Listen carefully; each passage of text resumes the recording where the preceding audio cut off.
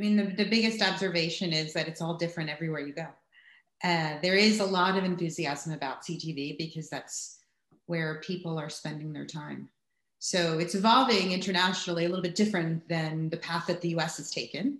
You know, in, in the UK, for example, they've already, they, they adapt a lot more quickly to this trend.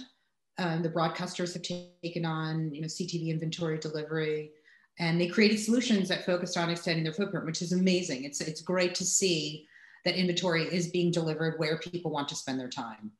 So, you know, Roku just launched in the UK, for example, this summer. So, uh, broadly speaking, the infrastructure is very different, and, and obviously regulation varies from market to market.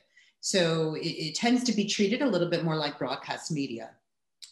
So, uh, what's interesting about that is when you think about broadcast media, you know, the reach and the scale of it, and then being able to, of course, deliver that digitally through platforms like CTV is something that all advertisers want. And so connecting the two and doing that consistently has been a repeated ask that we hear from our biggest customers.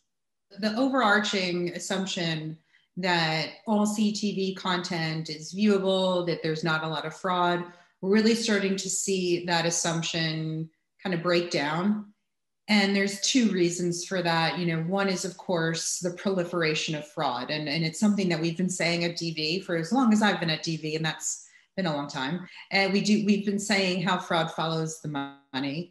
And as you start to see this explosion of interest in CTV and the CPMs of CTV, this is naturally where fraud's going to go. So over the years, it's the same type of principles adapted for new environments um, and understanding how does fraud happen in, in CTV is something that our customers want to know more about.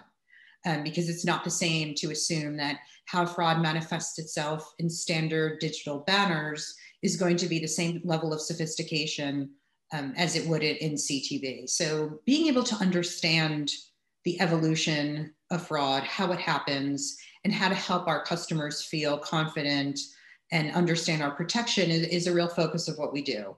So doing a lot of that education and the DV Fraud Lab does a lot to help educate me, to educate our customers, um, is really important to help re- understand the role of fraud in new emerging environments. So the second part of your question, when it comes to viewability, is the assumption that something is viewable always 100% fully on screen and, and while in many cases it is true as an avid consumer of CTV content um, and of ads and ad supported inventory, uh, we do know that it is the ad units themselves are delivered differently.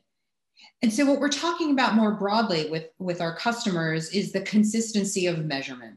And that's when it's less about, you know, is there viewability, but how do we get to a standard of viewability that is consistent wherever, wherever brands are investing? And that's been a real focus for us at DV. And as uh, you probably know, we, we've worked with so many industry bodies to help advance um, that opportunity. So the IAB Europe published a guide to CTV in January, in January, in June, and it was incredibly insightful about the challenges and opportunities for advertisers in the EU. And one of the topics that was really a, a, that was a big focus was on the need for industry standard measurement and so the coming together and the collaboration to help support that measurement is something we at DV, of course, support. So the role of DV, and, and this is where you know you, you require companies like ours who live at, at, a third party as a third party. We're charged with figuring out how to fill in the gaps. So where there are gaps, and they can be identified whether it's delivery gaps or infrastructure gaps, the way that CTV inventory is delivered from provider to provider, from broadcaster to broadcaster, or even technology gaps, the ability to deliver ad supported content. So we're charged with creating and developing the innovative solutions to that, along with you know, many other really good companies who are looking to advance the cause of consistent measurement. So, you know, even in what, the, what is known as like a closed environment, we find ways to partner with our publishers, with platforms, to help them feel that they can deliver quality inventory. And one of the challenges in, in the IAB Europe um, guide did a good job of illustrating this was just that there's a high cost to executing measurement. Is it a lot of um, resource that the publishers may not be able to invest in? So how can we make it easier for platforms and publishers to adopt measurement? And that's something that, and that we see that as, as, as an important part of our role in the industry.